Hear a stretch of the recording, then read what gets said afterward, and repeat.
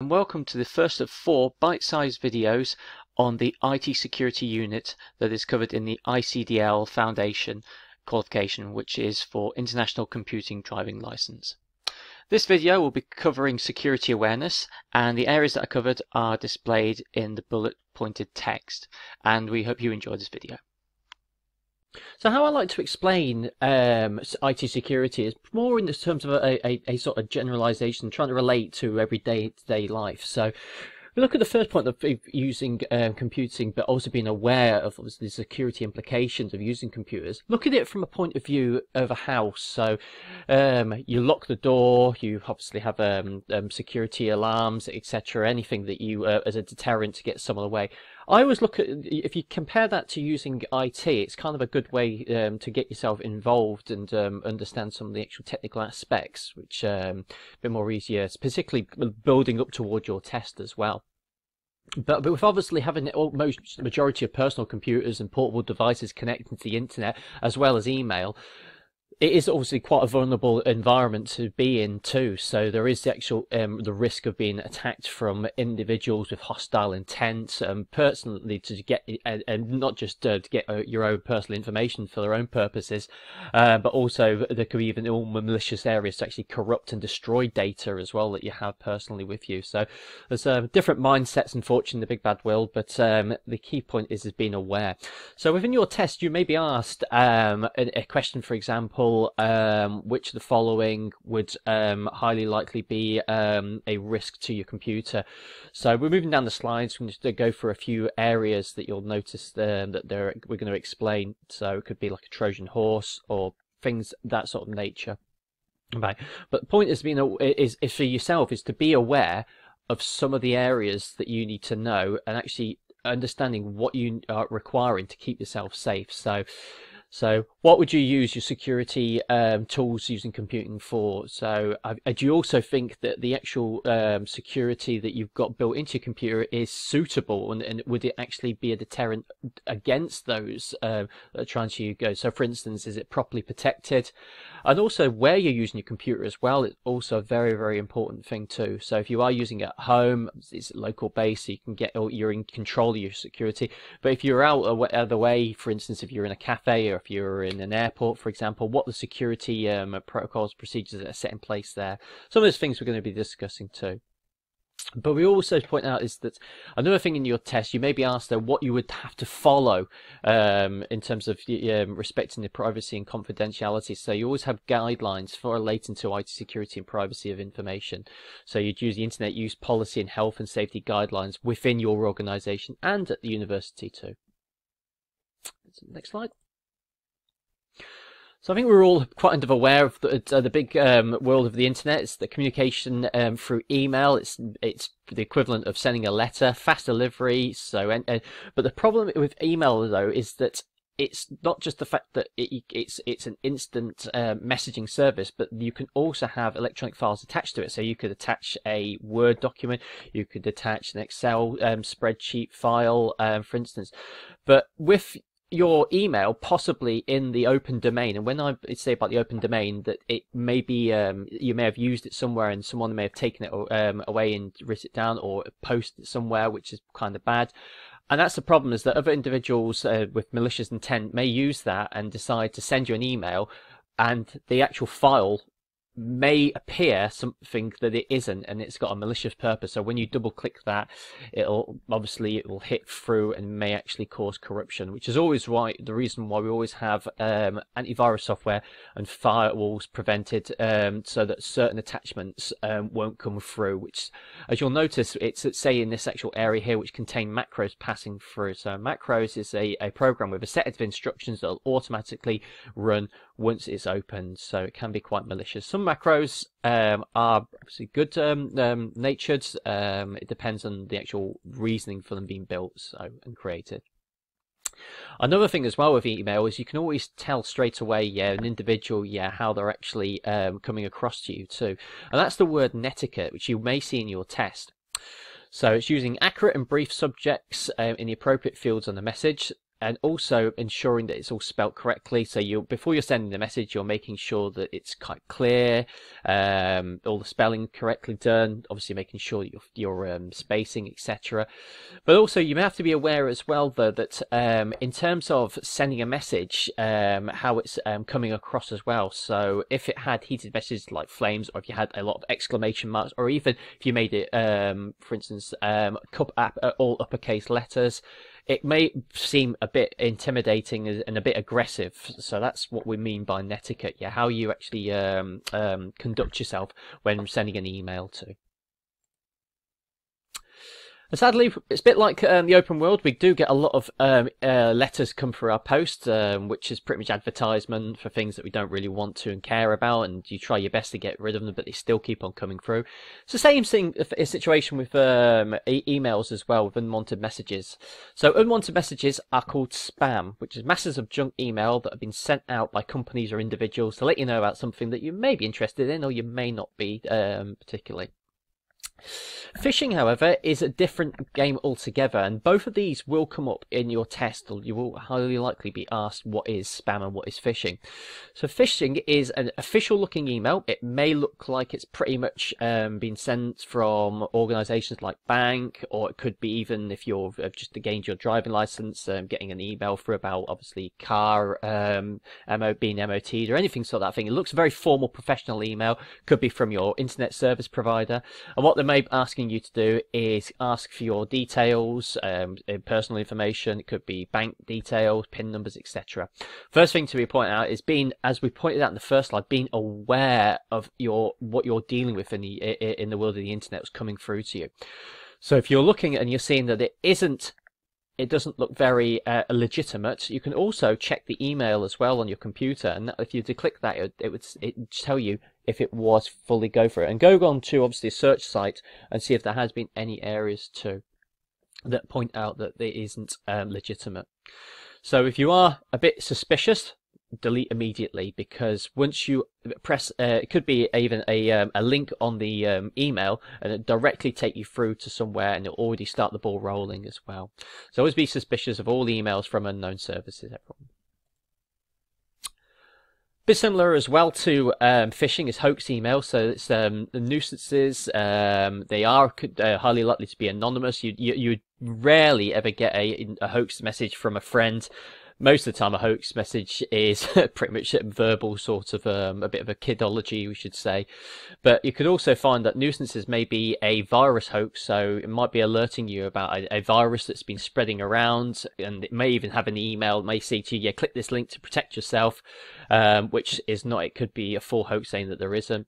Chain letters is uh, requesting uh, to messages moving forward and forward and scams as well um, so you could for instance get an email come through through that's stating, "Oh, hi there, we're um, we've got this such and such deal. If you just want to click this, um, or we've got a prize that you may want to win. We're always really tempted by um, these um, sort of prizes and cashes that are available to you, but you have to, in the back mind, and hold yourself back and say it is a hoax. So another thing as well in your test, you may get a question that's saying to you which of the following is um, highly likely a hoax, and you have a multiple choice um, options, and you click the one that's um, the most likely that explains a hoax as well. So. And you've got false alarms, misunderstandings, and scares too. So, what is a virus? A virus is a malicious piece of software. It's introduced um, to the system often with the ability to spread itself to others. So, the virus is not to be confused with the term bug. What a bug is in um, computing terms is is a piece of coding, so a program that's been written, but it's not working correctly and there's an error in it. So if you look at um, my slides in PowerPoint here, if I was to click, for instance, uh, let's just say this button here, section, and says, I know it's out of the way, and it crashed this uh, program. That's a bug in the system. A virus is different though. A virus is um, a program, an application a program that once it has been opened, it could start the malicious intent that it's been created for. And it may also look like it's quite a legitimate file. It may look see something that's okay, but unfortunately, once you get into it, it actually bombs and, and actually starts the process, and it will trigger specific events in the actions as well. Some of the typical viruses that you may find, and you'll highly likely get these seen in your test, which is a time bomb or a logic bomb. So a virus may lie dormant. So, for instance, the time bomb or the logic bomb will only run um, which is at a specific time or date. I always look at it in the comparisons to the Millennium Bug, which um, I think many of you will remember, but uh, it was um, something in 2000 that was going to go straight away. It was going to go bang, but it's a different with a time bomb because it's it would start the process of the virus at a specific time and date. Or with a logic bomb, an operation such as deleting a copying file. So if you did a step on your computer, all steps have been met, so the logic bomb will run. We uh, came across macros earlier. So what macros are is they are files that are most commonly within Microsoft Word and Excel. So you were to open these files, it'll start the trigger of events and uh, run the macro with its uh, it, it, its intent causing issues with your computer. Quite a common um, virus though is worms, um, which what worms is? It's a virus that will create itself onto a computer and it uses networks. So, for instance, you're on the internet, you can go from one computer to the other, and it will send and replicate itself within systems of with its own purposeful, um, malicious intent. All these are all going to be highly likely come up onto your um, test, and they all do particularly come up into your practice paper that you can have a go at after this as well. So they're really, really good to get yourself familiar with the terminology that we're describing here. So how can you protect and save yourself um, with, when you see these viruses? And also be vigilant, particularly with emails. That's a big, big one because they highly likely can contain viruses from individuals that are unknown to you. So make sure you've got the antivirus software that is installed, but also keeping it up to date as well. We are going to come to that in a few more slides about um, steps that you can actually do to actually protect yourself. The big thing though is obviously emails with file attachments. So they are the major source of um, viruses that can be downloaded from the internet, and and it is normally an exe extension. So that's an um, a, um, a a file that can be run. You can save it onto the computer and then double click it without even knowing. And obviously, commonly because we're always like clicking around as fast as we possibly can. But there's also a way that viruses can, and it's highly unlikely, but there is obviously that still because it is a storage um, option, which is USB drives or DVD. So if you were to um, open, um, insert them into your computer, double click into the folder, find that file, and accidentally click it, it may um, um, run the, the virus onto your computer there too. Other types of um, threats that you may come across though, and the big one is malware. Malware, another word that you need to keep an eye on during your test, is which is a form of unwanted software, often with unwanted or malicious purposes. So a big one, and it's also you may have heard this previously from obviously uh, other references, but the big one is the Trojan um, virus, so the Trojan which is a disguise as a link to a file. So it could also look something that's very legitimate. It could look like a computer game um, application or a graphics file. Um, it looks something that you know that it doesn't look any malicious, um, so it seems very, very legitimate. Seems okay, but once you double click it, its purpose is open straight away, and it begins the process of um, its malicious purpose. Bit of an old one here, but it's still in the syllabus, which is Rogue Dialers. So Rogue Dialers is a piece of software that affects dial-up connections. Um, so what it does, it will actually start um, phoning up uh, and replacing numbers that's set onto your computer and replacing it with premium rate numbers. So the purpose of it is to ring these numbers so that it's making more money um, for the individual. That's uh, very old school. Um, in this day and age, uh, old dial-up connection 56k is um, very, very, very, very rare. But we have to point out is it is in the syllabus. It may come up in your test as well. So you have to keep in mind what a rogue dialer is too. Other types of threat, which is spyware and adware, big ones that I, I have seen and, and, pop up across many, many times when um, individuals have been taking their test previously. So spyware, without the individual's knowledge that their computer is being spied on, so their interaction with computers or other servers, so changing settings, interfering with the internet browsing, slowdown um, of your computers that may actually indicate that your computer has been spied is being spied on. So there may be a malicious program on your computer at the moment that is spying you. And the kind of type of things that they do uh, search for spyware is pretty much um, where you're going to, what you've been doing, um, what areas are you're going through, um, and such. So they can actually use it for their malicious purposes with later intent. Adware is software packages which automatically download advertisements. So most of the time, it's highly it's most it's mostly a uh, an extension on your web browser which what it will do is if you go to a website it's going to trigger all the um, the application and it's going to bring down onto your computer all these adverts for other organizations to let you know so an example of that could be if you went to a supermarket um, um, uh, an online supermarket and it, you downloaded the, um, the extension and then you were searching for instance i don't know some cooking um, um, sorry, um, food or etc. Uh, as an example, and then what it will do is it will trigger and bring other adwares up, so that it's also a spyware mechanism where it's also looking at what you're interested in. So the other organisations are going to throw you better deals or worse deals, so you're, you're going to be clogged up with so much adware, and it's, it's really really awkward. So keep in mind with that as well. And finally, other ha- um, threats, um, hacking, which is changing computer software code for other um, individuals for what the intention is to do. So what that could be is an individual could get access to your computing. So that's the person called a hacker.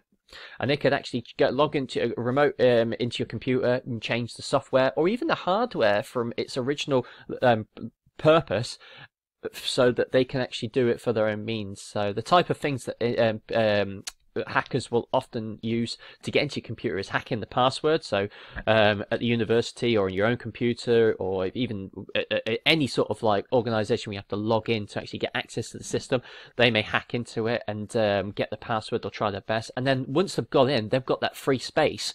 And we come back to what we said at the start. It's kind of like a house. So um, the hacker needs the key or needs the code to get into the door. And once they've got access inside, that's with their own intent what they need to do. So for instance, from a a, a, house point of view, they may want to take possessions, personal data, but from a computing point of view, they want to highly likely may want to um, infect the computer or systems with virus or Trojan horses for malicious purposes, or also intercept and read any emails and communications that are going through to you as well. So there's different sort of varieties of what a hacker and what their intent and what they would want to do as well.